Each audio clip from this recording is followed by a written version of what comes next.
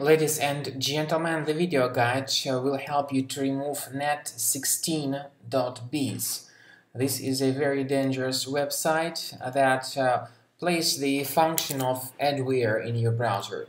As you see, it uh, displays some misleading and faulty information telling that you need to click on allow button as the verification that you are not a robot.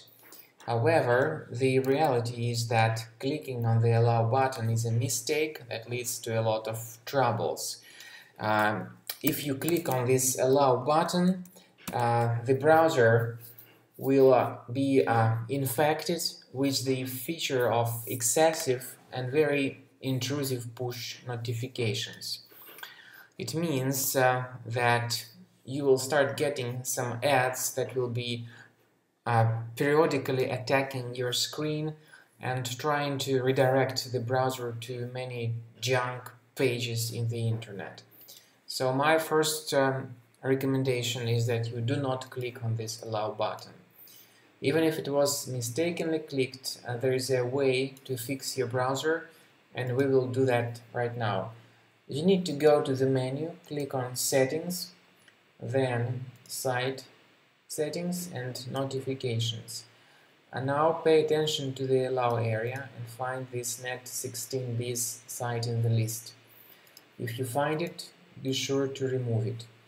Also remove other dangerous sites that do not make sense. And uh, I would also recommend you to double check your Mac additionally with uh, Combo Cleaner antivirus. Get it on this page, combocleaner.com.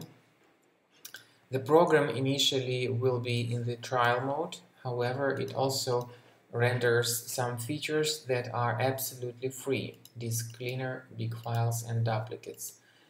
Click on Start Combo Scan and the free scanning will begin. So far, this is the end of scanning by Combo Cleaner Antivirus. Whether it is in the trial mode or in the premium mode, it will perform the direct uh, and thorough analysis of your Mac computer. And at the end of scanning, the detailed report will be given. You may click on the uh, icon or the link uh, called Review Results and this will uh, immediately show you where exactly the thread is located and what particular thread it is. So uh, you may uh, remove each thread manually, one thread at a time, simply by clicking on this small icon that is saying Show in Finder. So you may find the uh, location of this adware in the Finder and move it to the trash. You may do it with uh, each specific uh, thread, adware or malware that may be the part of your computer. So click on this icon, show in Finder. As I said, this will show you its location and you may remove each detected thread manually and absolutely for free.